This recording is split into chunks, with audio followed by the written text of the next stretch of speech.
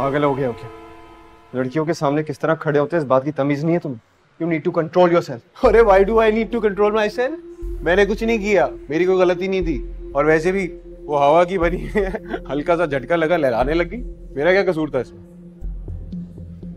तुमने देखा था ना वहाँ पे कितनी डेड बॉडीज थी?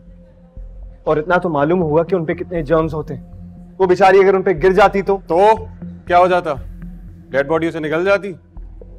कैंसर हो जाता है ये तो जाती उसको। तुम्हारे बाइसेप भी तो थे संभालने के लिए उसको। Hasan!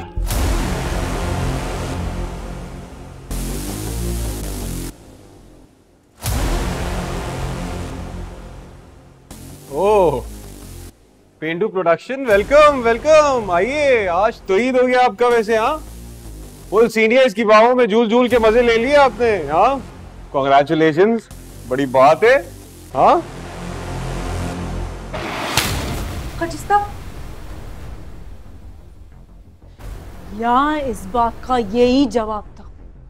अगर ये मामला हमारे इलाके में हुआ होता तो थप्पड़ की जगह गोलियाँ चलती। संभाल कर रखो इस पागल को। उसकी हो तुम्हारी वजह से तमाशा लगाएँगे। मेरी वजह से क्या हो रहा है? मैं तुम्हें समझा रहा था। समझाते नहीं हो ना तमाशा लगाते हो तुम्हारे पास। हट जाओ मेरे टच मी यार। चुप! क्या देख रहे हैं आप? जाइए गो टू क्लासेस प्लीज़ फोकन हो? गए तुम क्या? हट जाओ यार दिमाग खराब हो गया है तुम्हारा। ये कॉलेज है। जहाँ पे हमारे पेरेंट्स की इज़्ज़त है कुछ तो ख्याल करो। I out of your mind? I am out of my mind मैं उसको भी फ़ोन करके आऊँगा।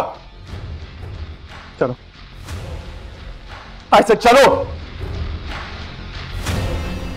मैं कह रहा हूँ हट जाओ मेरे रास्ते से। अभी हट जाओ यार। हट जाओ यार करो हाथ नहीं लगाओ मुझे। पागल हो गया हो तुम।